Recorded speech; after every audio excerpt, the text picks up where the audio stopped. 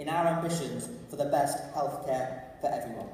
Because we know as a Labour movement that a national health service funded through taxation with treatment free at the point of delivery, where everyone treated equally based on clinical need, not ability to pay, is not only the right thing to do, it's also the most efficient, effective and safest system of delivering healthcare in the world.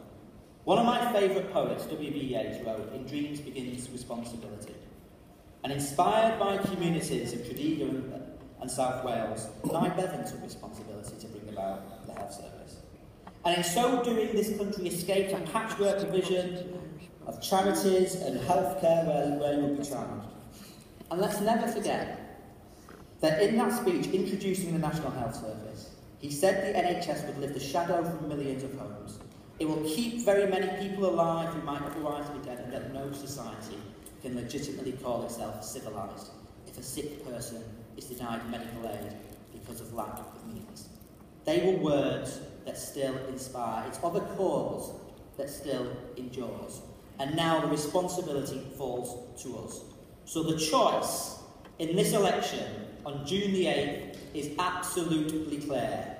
A rebuilt National Health Service with, social, with a social care service for the millions who depend on it with Labour, or cutbacks, sell-offs and nothing but a rump service under the Tories.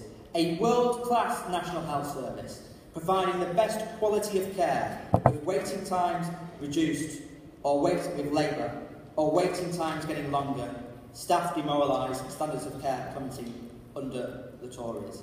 Investment in NHS staff, a pay rise, investment in training and safe staffing, or cuts to staffing and your pay deteriorating under the Conservatives.